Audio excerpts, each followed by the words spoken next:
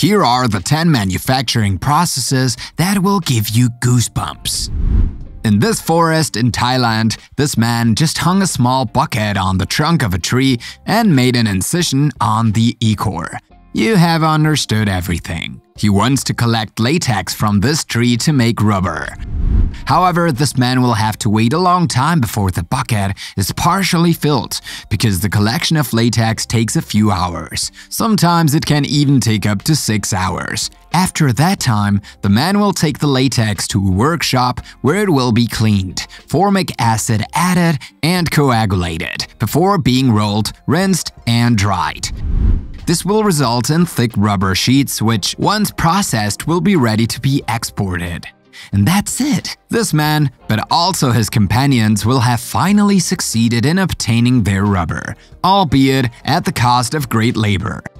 However, he can be sure that once sold, his rubber will be used to make other useful products that we use every day. And that will only make him prouder, of course. You are often used to wearing contact lenses, either to correct your vision or simply to change the color of your eyes. Then you are not the only one.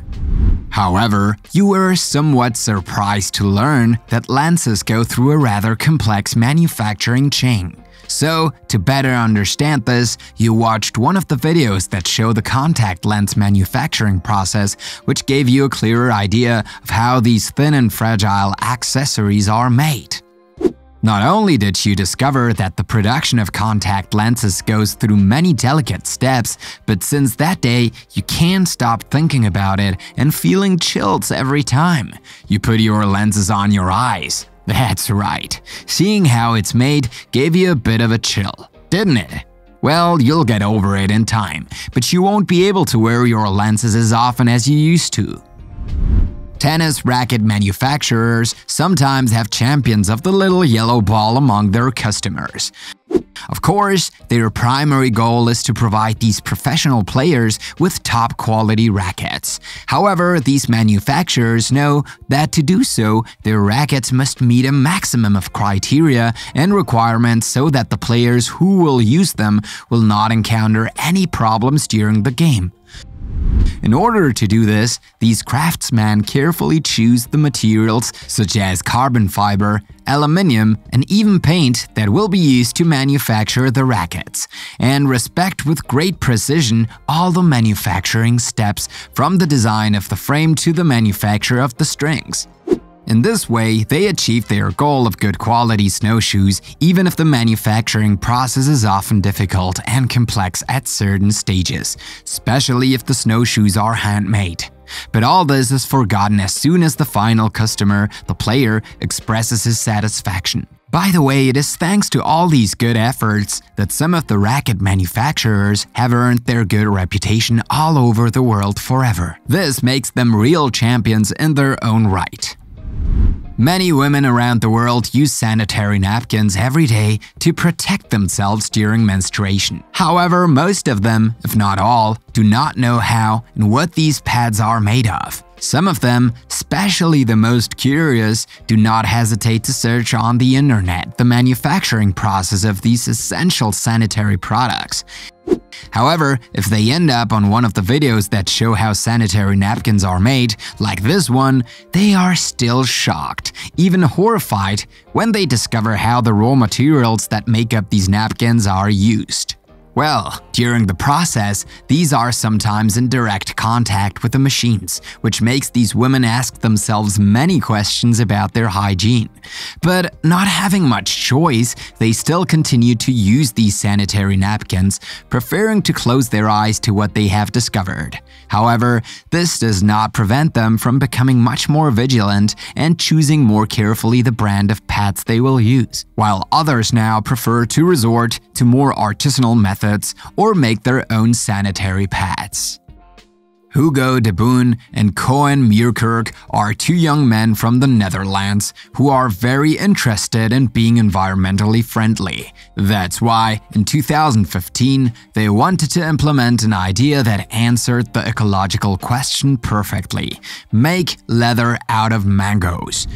These two young men certainly had to face the skepticism and round eyes of all those who did not believe in their project. But far from being discouraged, they set to work, transforming the unsealable mangoes destined for the garbage dump into a pulp to which they added additives before drying it and cutting it into sheets in another workshop. Not only did Hugo and Koen find a good solution to food waste by using unsealable mangoes, but they also managed to create an original product by transforming fruit into leather, and all this in a totally environmentally friendly way. Any of us would think that this could get them into trouble with animal leather producers, but the two young men assure that they are not trying to replace the real leather we all know with their product.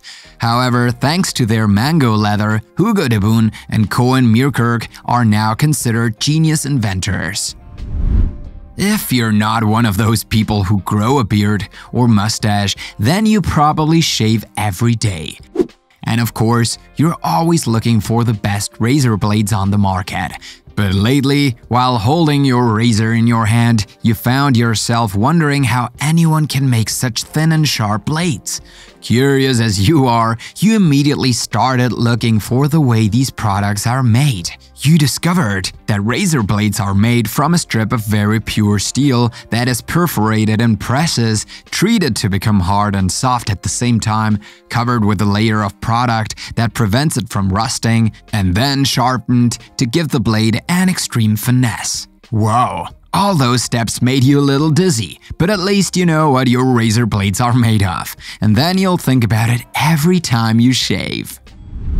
Workers in pencil factories work in different positions where everyone hopes to get the job done. Because in pencil factories, these people are not allowed to make mistakes. To do their job well, these pencil makers follow the steps correctly. It all starts with the mixing of graphite and clay.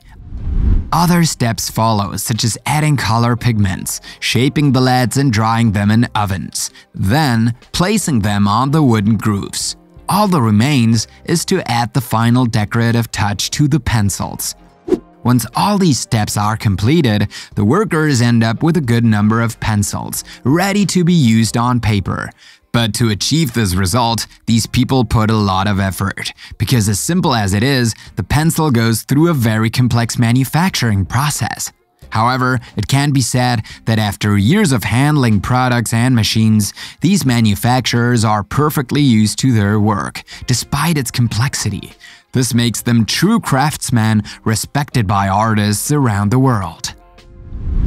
See that man pouring the orange-colored liquid into those round molds? He would like to make a balloon, but for that, this man has to rely only on his hands and on these machines which seem to be in a very bad state. Let's go, let's get to work.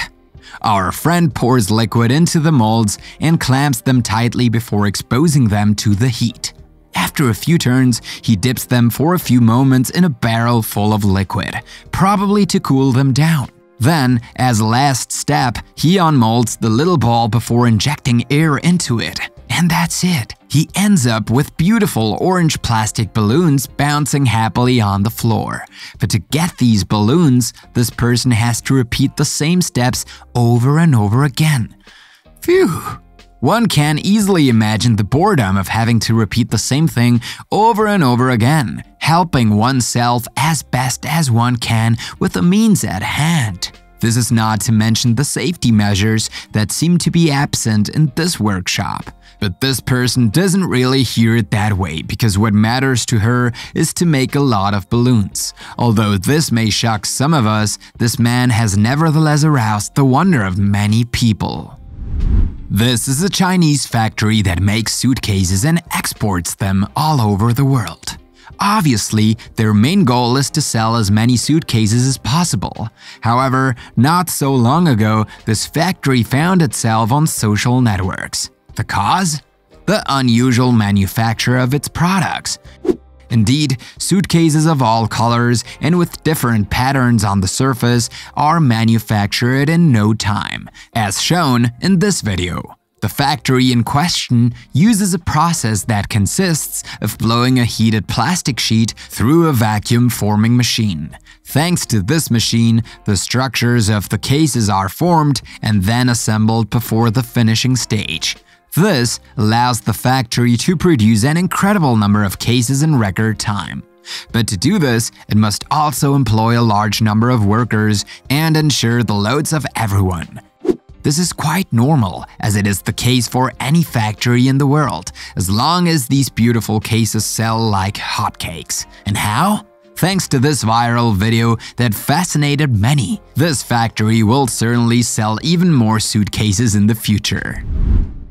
Look at these men in this hex nut factory. They are there to earn a living despite the precarious conditions in which they do their work.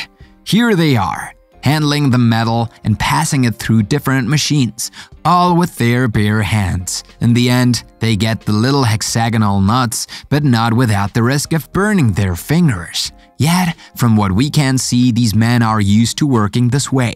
However, because of this video, these workers have gained the compassion of many people. And we end with one last process. Imagine you are on a large dairy farm. That's good because you've been wanting to see how cows are milked for milk for a very long time, right? You even want to experience it yourself by pulling on a cow's udder. But to your surprise, you notice that everything on this farm is automated. That's right! This farm uses an automatic milking system, but not only that, even the feeding of the cows is automated and controlled, so you'll be disappointed. However, to better understand how automatic milking works, you approach a group of cows whose teats are pushed into the milking claws, which allows you to get a closer look at this process that you have never seen before. You are a little shocked at first, and you can't help but imagine yourself in the shoes of those poor cows and think how much pain they must be in. However, your grimace of pain disappears immediately when you are told that this automatic milking system is not that painful for our friends the cows, and moreover, it has many advantages for the farm. Indeed, in addition to being hygienic and profitable, automatic milking of cows does not require a large workforce. It also saves a lot of time, including cleaning time. So, if you were initially critical of automatic milking, you've changed your mind for good. Now tell us in the comments, which of these manufacturing processes impressed or shocked you the most? Don't forget to subscribe and click here to watch another of our videos.